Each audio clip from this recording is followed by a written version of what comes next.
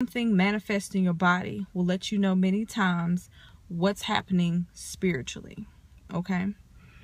Now, a metaphysical the metaphysical cause of um, cysts are blockages associated with your femininity and being female. So if you're not allowed to, or you feel you're like you're not allowed to be fully feminine and fully female, what happens is you're having to block off or wall off yourself from certain things. You need to feel protected from external influences. So that energy that is within the cyst is literally an emotion that has come through you or a desire or a feeling, okay?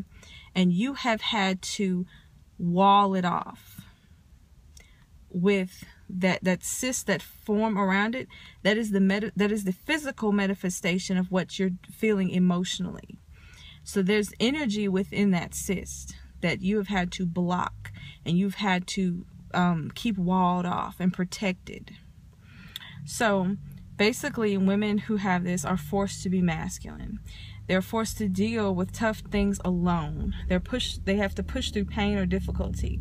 They have to work when they need or want to rest. They have to be strong when they need actually need support from others. Um, how many women, many, many, many, many women who are single mothers have this? Why? Because yeah, it does make sense, doesn't it?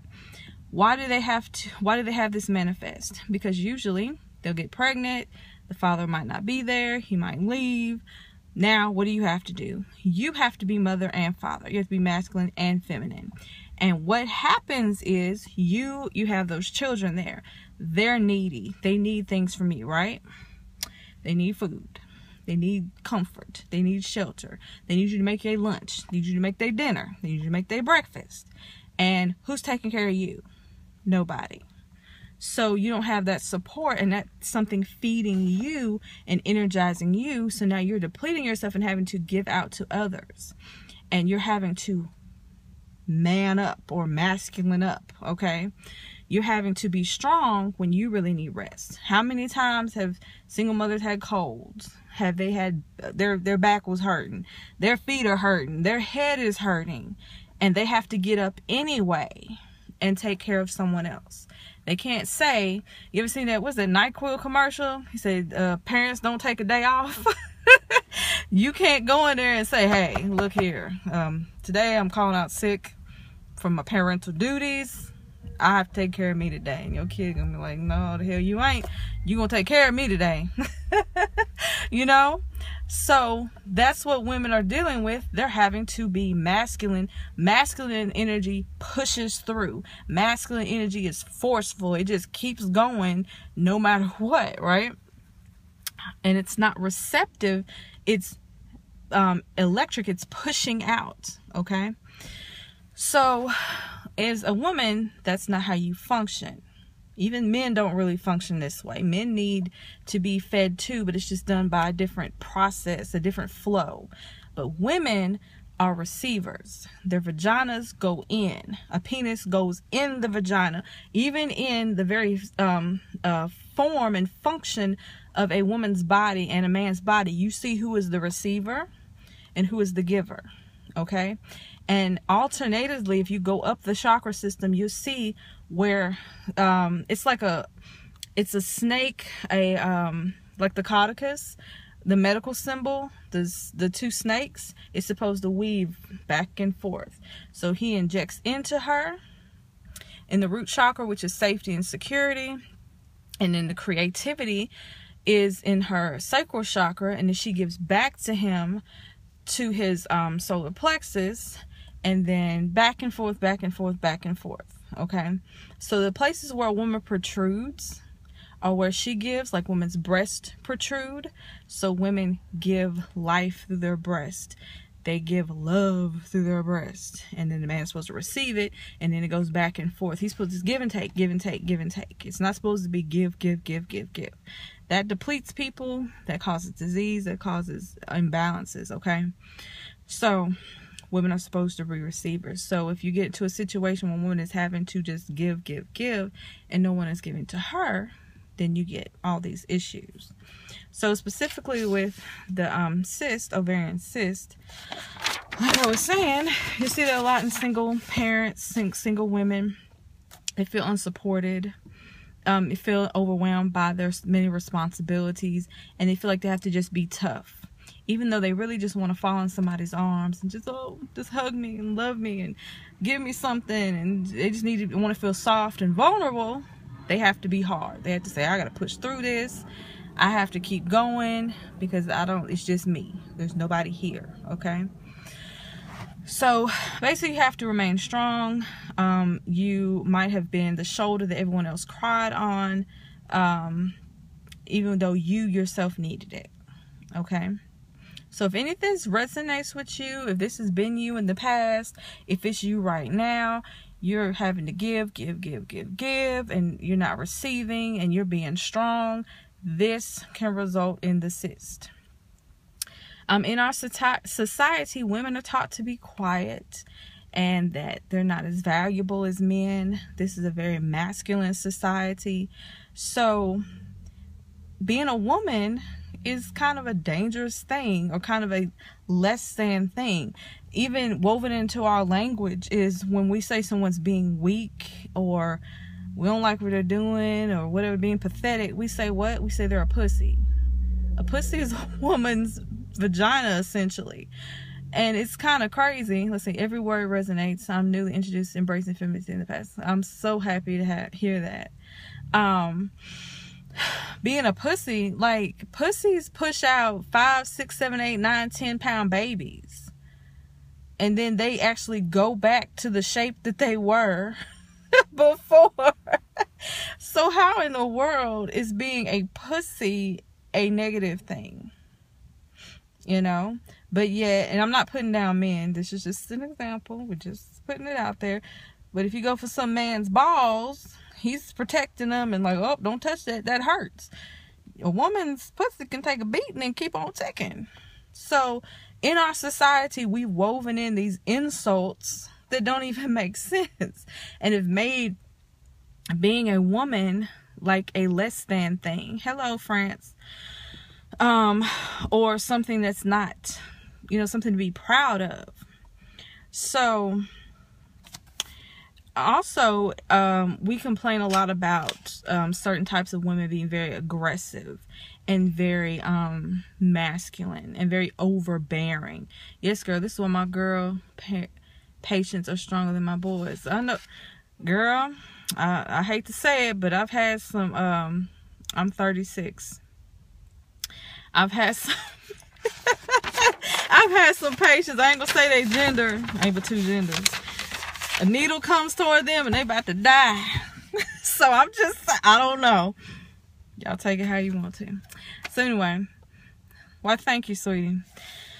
So, in childhood, you may have witnessed women or female authorities um, being belittled. So, this is something that stays with you, and you say um, in your mind, I'm not going to be that way. I'm I'm going to be hard and masculine and I'm going to protect myself because nobody values women. Nobody values the feminine, which has been a thing that has been predominant in our society for a very very long time. Um let's see. You're sub like I said um men are valued more than women, so you choose to be more masculine. Um let's see. So the cysts form because you need to, you feel the need to have a tough outer shell. If you're constantly hearing the words toughen up, okay, don't cry. Keep pushing even though you're tired.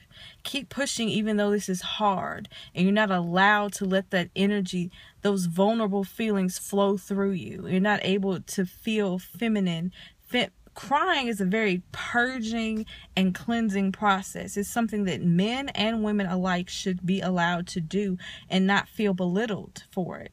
How many times have we told our children, stop crying, you know, when they're upset? Like, big girls don't cry, big boys don't cry. All these messages that we give our children are damaging to them because they will grow up thinking that is something wrong with expressing emotions, expressing overwhelmment. Think about the word I just said, expressing. To express means to draw forth or to push forth. um, when a woman expresses milk from her breast, she's pushing out the milk, she's releasing the milk. So to express means to release something. So if someone is feeling overwhelmed and they're crying, don't tell them not to do it. Let them cry. Let them express themselves. Otherwise, they will retain that energy, that hard shell around the cyst, which is what a cyst is, has a hard, has a, a shell around it, and it has fluid inside of it. You and that in your feminine organs, the way to reverse PCOS is through diet and visualization and meditation and allowing your emotions to flow and allowing yourself to be fully feminine and allowing yourself to express your emotions, not to feel like you have to have a tough shell because you don't. You're allowed to express your energy. You're allowed to be feminine. You are allowed to cry. You're allowed to be overwhelmed and say, I need help. You're allowed to, to cry on someone else's shoulder. You're allowed to do that. That's the reversal. Very simply. Yes, there are herbs that support this. Yes, there are crystals that support this. But the root cause must be a change in the mind and the decision that you are okay if you cry. You are okay if you express your emotions. Otherwise, you're going to be what they call the bitter female who's always doing this and and cussing everybody out and hard and tough. And we all know nobody likes that. And it's not that we don't we want women to be weak, and it's not that we want women to um, be walked over. But the thing is, you have an innate feeling of not being safe in the world. This can come from being sexually abused. This can be ancestral. This could be something that your mother went through. and she passed that energy on to you. When people say things are genetic, eh, sort of, kind of. It's really a passing down of energy. If she was abused, then she passed the energy down to you. You come into the world, you innately feel that when she's going to act out of her fears, you're going to observe them. And it's going to be a perpetual thing until you make the decision to change. So it's a combination of herbs, crystals, um, Reiki, visualizations, and changing your thoughts and your patterns. Well, if I'm boring you, baby, guess what? You can always leave the scope. Bye bye. So anyway, um, People are retarded. I swear. I, I okay. Let me let me get it together. Why I don't get it. Woo! Okay. So yeah. Somebody just came on my scope said, You're boring me. I'm like, Well, honey, we we have choices. You're right. I, I need to work on that. I'm going to work on that. Ignore the trolls. so anyway, um yeah releasing those emotions, expressing them. That is the reversal. Um, energetic work is all about reversing the flow. Okay? When you reverse the flow, healing ensues. You've been um, contracting with, agreeing with certain um, perceptions, certain energies, and allowing them to take resonance in your body, in your auric fields, and blocking your chakras and doing different things. So, when you reverse the flow to more positive things, it is good to express your emotions. It is okay to cry. It is okay to be vulnerable. It's okay to ask for help. Then you shrink those cysts. Because now that energy that's trapped in there that was trying to express itself is not walled off anymore. Okay? So, let's see. That's what I wrote. See, I wrote this down and I just said it. Before I got on here, I did a lot of um, meditating, thinking, and reading, and putting this together so I could make sure I said everything I wanted to say. So, um, let's see. So basically, in some way, most people who have this Let's see. Let me read this.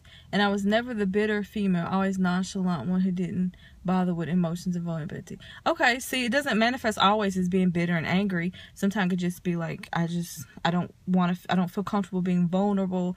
I don't feel comfortable expressing my emotions. And that can cause those little cysts.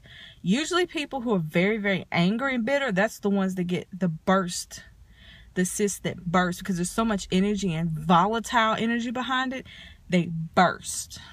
Okay. So it depends on, that's why I said consultation is so important and getting a specific reading